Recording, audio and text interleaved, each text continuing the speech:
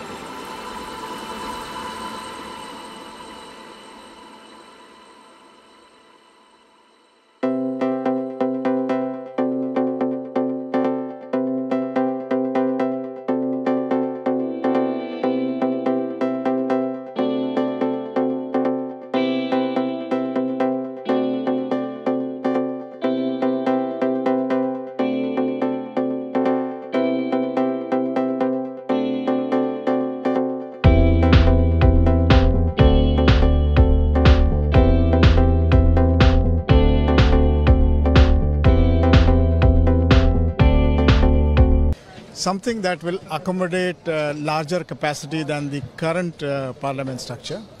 This is also built um, uh, for a life of 250 years plus. It has got uh, uh, features like uh, it is using um, corrosion resistant steel. It is designed for seismic zone 5. Uh, which is a one zone higher than what the Delhi uh, seismic zone is. It will deploy modern uh, electronics, acoustics, आपने सुना नई संसद में विशेषताएँ क्या है? लेकिन कई बातें और हैं। न्यू संसद में एक टनल भी होगा। बताया जा रहा है कि ये टनल देश के प्रधानमंत्री की सुरक्षा को देखते हुए बनाया गया है। टनल के ज़रिए आपात हालात में बिल्डिंग से इमरजेंसी एग्जिट संभव हो सकेगा। But there is indeed a tunnel that we are constructing at one face of the parliament. Central vista अपने आप में भारतीय सभ्यता और संस्कृति को समेटे हुए है। इसके पिलर्स जो अभी आपको कंस्ट्रक्शन साइट की इन तस्वीरों में भले ही समझ न आ रहे हो, लेकिन जब ये बनेगा तो सोमनाथ के मंदिर के पिलर्स की तरह दिखेगा। दो तस्वीरें देखकर आप और आसानी से इसे समझ सकते हैं। पहली तस्वीर अभी के कंस्ट्रक्शन साइट की है, दूसरी तस्वीर में प्रोजेक्शन पिक्चर है, यानी बनने के बाद न्यू पार्लियामेंट और भी कुछ बातें हैं जो एक भारतीय होने के नाते हमें और आपको जाननी चाहिए, कैसे एक पुराने पीपल के पेड़ को बचाने के लिए डिज़ाइन में ज़रूरी फेरबदल किया गया।